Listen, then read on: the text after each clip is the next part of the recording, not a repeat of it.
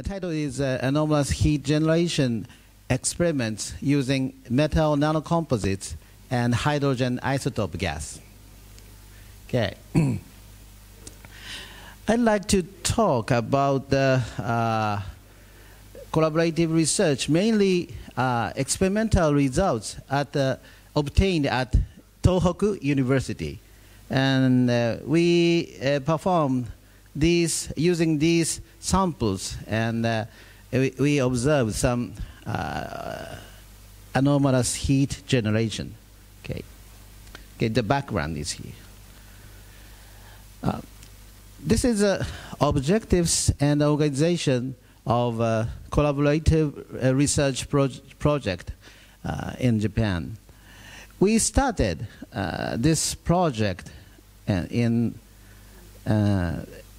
October 2015 to October 2017.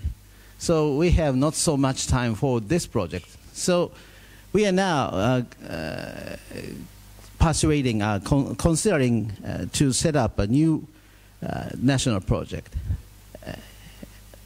And uh, objective, main objective of this research project is uh, to clarify the existence of the anomalous heat generation phenomenon. Uh, we, we, we have many, much data on anomalous heat generation, but uh, many people still doubt the existence of the anomalous excess heat. So main research of this project is to clarify, to, to convince uh, everybody the existence of the anomalous heat generation. And also, uh, we would like to set up a new national project by obtaining a guiding principle on how to control the anomalous heat generation phenomena. So uh, this is a, we have two objectives uh, for this uh, research project. And this is the uh, organization uh, of this project. We have some universities and uh, companies. Technova is a leader of this project. And uh, uh, Professor Akito Takahashi is a uh, leader of this project. And Technova has a under Technova, Nagoya University and Kobe University participate in this project. And Nissan Motor Corporation and Kyushu University and uh, Tohoku University. Okay. Uh, this is a summary of uh, uh experimental results at Tohoku University.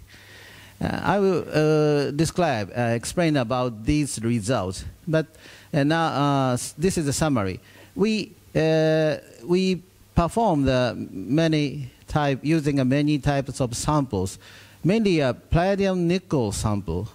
It is this one is made by melt spinning method, and copper nickel uh, samples and uh, palladium only samples. This one is a very small, under four nanometer nano palladium sample and the other is a copper nickel, and the copper nickel with uh, silica.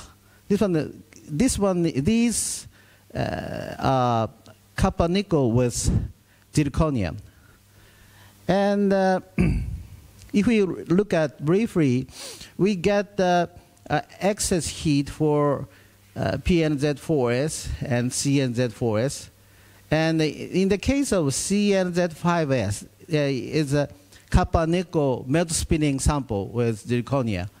Uh, we observe the uh, coincident, burst-like coincidence increase events of the uh, pressure of the reaction chamber and gas temperature. I will, mention about this. And we would like to replicate, replicate uh, this phenomena uh, using this CNZ6 sample. And uh, uh, successfully, we replicated constant increase events of the pressure of the reaction chamber and gas temperature. Okay, so, uh, and uh, I would like to uh, mention about uh, this one. If we use a palladium only, we did not excess, any excess heat of at elevated temperature. Okay. So, I'd like to explain about uh, our experimental setup briefly. Uh, these, uh, these, these apparatus are uh, developed uh, based on the uh, Kobe University's Takahashi Akito and Kitamura's apparatus based on that we uh, we make uh, this kind of uh, very high by high precisely measurement system. The feature of this experimental setup is oil flow calorimetry at high temperature, about uh, 300 degrees centigrade. Uh, using uh, oil flow calorimetry, we can measure the excess heat using by this method. And second point is uh, a lot of many uh, measurement points. We put the many uh, thermocouples or uh, RTD uh, to uh, make sure that what is happening in this reaction chamber. So we put many uh, thermocouples and the third point is uh, uh, resistant to outer temperature fluctuation.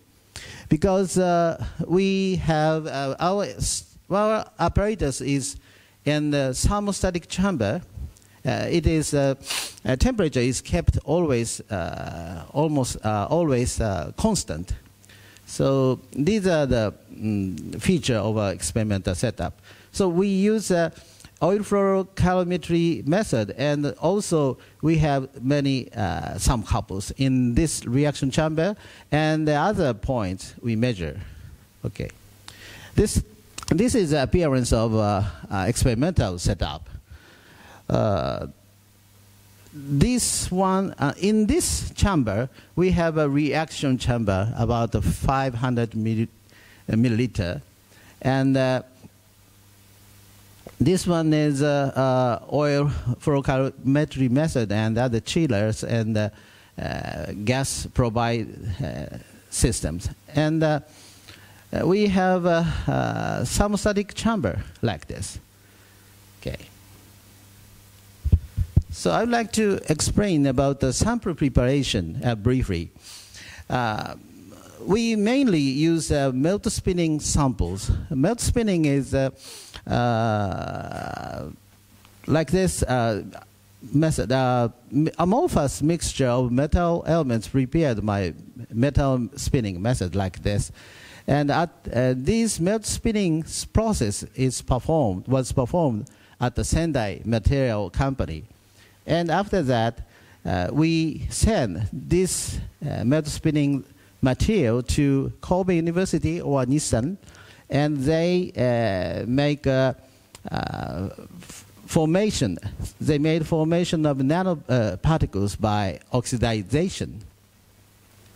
And this material uh, was divided to uh, two parts. The one is the Kobe University, and one is the Tohoku University and uh, uh, two samples are subjected to the same process.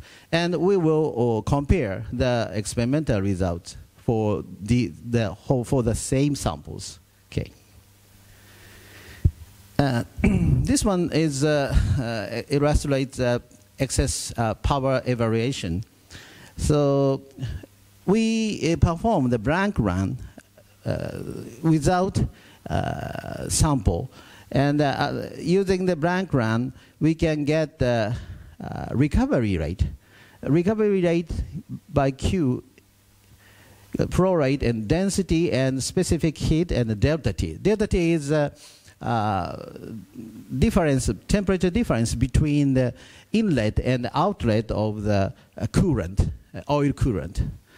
Okay, and Q is outer heater and inner heater plus excess heat. So we evaluate uh, using this uh, equation.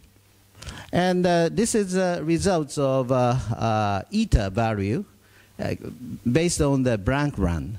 We can, we can get the reaction recovery rate like this, and, and then excess heat is calculated by the above equations.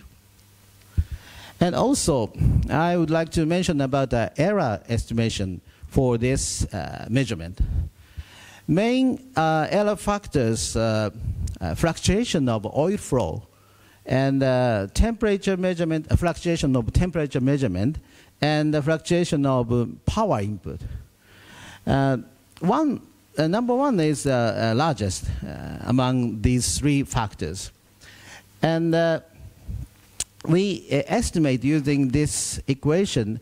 For example, in the case of uh, CNZ5S, uh, we get uh, 0.9 watt for 80 watt, uh, 80 watt input, and 22.3 watt for 134 input.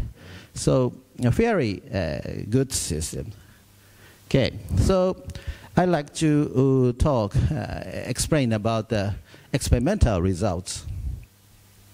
Okay, this is the results uh, of uh, a PNZ4S, palladium 0.04 and nickel 0.31 and zirconium 0.65 with D2 gas. In this case, we uh, performed uh, using the D2 gas. Okay. Uh, this is a result of uh, uh, heat release at room temperature. Heat release at room temperature mainly uh, due to the, the, palladium absorption of uh, D2 gas. And uh, as you can see, we can get the, this power like ten, maximum power is 10 watt and decrease. And if we uh, evaluate this value, this excess heat, uh, about a 40, uh, 50, 54.8 kilojoule per d-mole, uh, deuterium mole. Uh, in this case, absorbed deuterium is 1.59 mole. And so uh, we can get uh, 0.57 electron volt per uh, deuterium. And this one, this data is uh, obtained at Tohoku University. And uh, at Kobe University, uh, they, uh, Kitamura and uh, Takahashi get uh, 54 kilojoule per D and 0.56 electron per D. fairly good agreement like this. Okay. And this one is excess heat generation in this case, PNZ4S with D2 gas. As I shown, uh, we get a, uh, small amount of uh, uh, excesses like that. But this one is mainly by chemical reaction. So in the, uh, this region, 87 kilojoule. But uh, if we increase up the temperature of the reaction chamber about uh, 160 to 200 degrees centigrade. Uh, we can get uh, excess heat like this. Uh, this excess heat is evaluated by the uh, temperature difference between uh, inlet and outlet of oil coolant. Okay, and in this case, if we provide 80 watt we got uh, uh, 0.65 megajoule like this. And uh, if we uh, increase up the temperature of the reaction chamber, we get uh, 1.73 megajoule like this. So integrated excess heat in this case is about 2.47 megajoule, and at least we can get 14 0.9 electron volt per uh, deuterium. So this value uh, cannot explain by chemical reactions. Okay, next, next data. Uh, this is the results of copper nickel zirconium, copper 0.04, nickel 0.31, zirconium 0.65 with hydrogen gas in this case. Uh, this is the overview of CNZ5S experiment. Uh, at the beginning, we performed the blank run. Uh, th these data are RTD's results. RTD is, uh, is uh, located like this. RTD1 and RTD2 and RTD3 and RTD4 like this. And uh, blank run, uh, you, blank run, during blank run we have only uh, uh, zirconia beads, uh, in this uh, reaction chamber. And uh, uh, we get the blank run data, and after that baking, uh, we put the sample, CNZ5S sample, copper nickel sample, about 100 gram, and we, we put the hydrogen gas into the reaction chamber. it's a, a CNZ 5S 4 gram run. Okay. So this is a comparison uh, of RTD and E1 uh, uh, temperature. So blank run, this is the blank run data and uh, baking, and uh, this is a uh, foreground run data.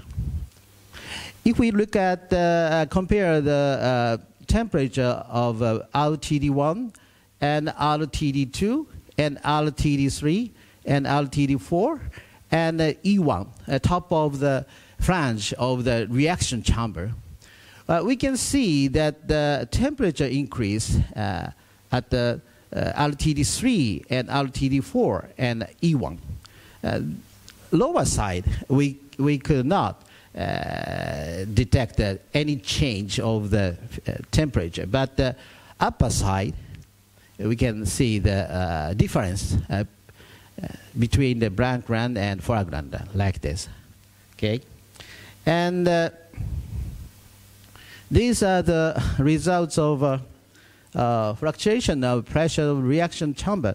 Uh, reaction chamber uh, pressure is here. Reaction chamber's pressure and also uh, E2, this place, E2 pipe, E2 gas temperature is plotted. as you can see, uh, during the blank run and uh, baking run, uh, we do not, uh, these press, uh, pressure and E2 temperature stable. But if we start, if we start foreground run with CNZ5S with hydrogen gas, we can see the fluctuation like this, fluctuation of E2 gas E2 temperature and pressure. And if we, if we enlarge this data, uh, we can see like this as uh, bath-like uh, constant increase and uh, time scale enlarged uh, data is here. The pressure is a red line and uh, temperature is a blue line. as you can see, coincidentally, pressure increased up uh, and uh, E2 temperature increase up like this. So if we enlarge more and more uh, time scale enlarge, we can see that uh, uh, pressure and the temperature uh, goes up and down like this coincidentally. So this phenomena uh, suggests that uh, generation or very high uh, temperature gas is uh, generated upper side at upper upper side, and uh, uh, we get the pressure increase and the temperature around here increase maybe. Okay, based on the oil flow calorimetry, we can estimate the uh, excess heat generation for this sample. Okay. Uh, and if we provide 80 watt, uh, we can get uh, about a 5 watt like this. And this one is uh, uh, estimated error, standard deviation. So we can see that significant excess heat generation for this sample. And uh, uh, we, can, we can estimate the chemical reaction uh, in this system. And the most largest one is hydrogen combustion. But if, if uh, we have also, of course, we have no oxygen, large oxygen, but uh, if a combustion uh, heat released, uh, 121 kilojoule per mole H. But uh, for this case, we can calculate uh, 6.5 megajoule per, per mole hydrogen. So we cannot, we cannot explain by known chemical reactions. Okay. And uh, this one, this figure shows uh, uh, broken zirconia beads after excess heat release. Uh, as I say, uh, metal uh, spinning composite samples about 100 grams like that. And uh, zirconium O2 beads is feed for filler. the diameter of the beads is one millimeter. And uh, after exper experiment, the sample is sieved out to separate from zirconia beads, but uh, we found that some broken parts of zirconia beads like this.